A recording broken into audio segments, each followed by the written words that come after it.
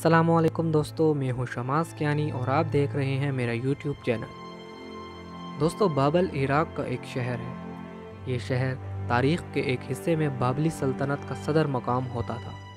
यह सल्तनत नबी अकरम सल्लल्लाहु अलैहि वसल्लम की विलादत तक कायम रही। पाँच सौ छियासी कबल मसीह में बख्त नसर इस सल्तनत का बादशाह था। बख्त नसर ने इसराइल पर हमला किया, पूरा इसराइल तबाह किया यहूदियों की मुतबरक तरीन इबादत गाह हैकल सुलेमानी गिराई। यहूदियों को गिरफ़्तार किया और इन्हें ग़ुलाम बनाकर अपने साथ बाबल ले आया। बाबल में बख्त नसर ने शहर के बाहर यहूदी ग़ुलामों की एक कच्ची बस्ती आबाद की। इस बस्ती का नाम तल अबीब था। यहूदी पचास बरस तक इस कच्ची बस्ती में कैद रहे। पहली जंग अजीम के दौरान जब खिलाफत उस्मानिया कमज़ोर पड़ी तो फ़लस्तीन बरतानिया के कब्ज़े में आ गया। बरतानिया ने फ़लस्तीन को दो हिस्सों में तकसीम करके फ़लस्तीन और इसराइल दो रियासतें बनाईं और इसके बाद दुनिया भर के यहूदियों को इसराइल आने और नए शहर आबाद करने की दावत दी। तो यहूदियों ने बाबल के दौर की याद ताज़ा करने के लिए फ़लस्तीन में तल अबीब के नाम से एक बड़ा शहर आबाद किया। ये शहर दिसंबर 1949 तक इसराइल का दारुल हुकूमत रहा। इसराइल ने 5 दिसंबर 1949 को यरूशलेम को इसराइल का दारकूमत बना लिया। तल अबीब आज भी कायम है। ये इसराइल का दूसरा बड़ा शहर है। ये शहर यहूदियों की ग़ुलामी की यादगार है। आप अगर दुनिया का नक्शा देखें और इसमें इसराइल को तलाश करें तो ये आपको शाम, उर्दन, लिबनान और मिस्र के इंतहाई ऊपर वाले हिस्से में एक छोटे से तीले की तरह नज़र आएगा। ये एक छोटा सा मुल्क है। इसकी लंबाई 420 किलोमीटर और चौड़ाई 10 से 150 किलोमीटर है। इस वक्त इस मुल्क की आबादी सिर्फ़ 81 लाख 34,000 लोगों पर मुश्तमिल है। इस 81 लाख लोगों में 61 लाख यहूदी हैं जबकि बाकी आबादी मुसलमानों और ईसाइयों पर मुश्तमिल है। इसराइल चार इस्लामी मुल्कों की छीनी गई ज़मीनों पर कायम किया गया। इसराइल ने 5 जून 1967 को शाम की गोलान की पहाड़ियों पर भी कब्ज़ा किया उर्दन का मगरबी किनारा भी 1968 को इसराइल के कब्ज़े में चला गया। और इसराइल ने 1967 में ही मिस्र के इलाके गज़ा पर भी कब्ज़ा किया।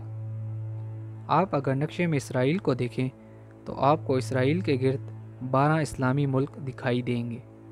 शाम इराक़ लबनान उर्दन मिस्र सऊदी अरब बहरीन कतर यूएई, ईरान तुर्की और सूडान शामिल हैं। ये मुल्क आबादी वसाइल और रकबे में इसराइल से 500 गुना बड़े हैं। इसराइल ने 1948 से आज तक इन इस्लामी मुल्कों से पाँच बड़ी जंगें लड़ी और ये हर जंग के बाद किसी न किसी इस्लामी मुल्क की किसी न किसी जगह पर काबिज होते चले गए।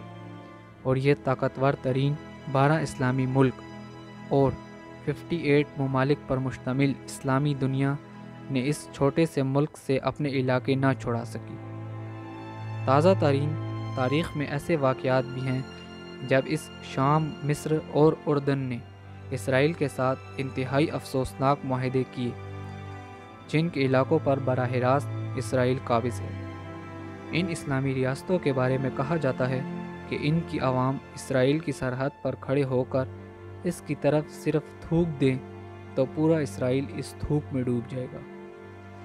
सिर्फ़ मिस्र की मिलिट्री, पैरामिलिट्री और पुलिस की तादाद इसराइल की कुल आबादी से ज़्यादा है।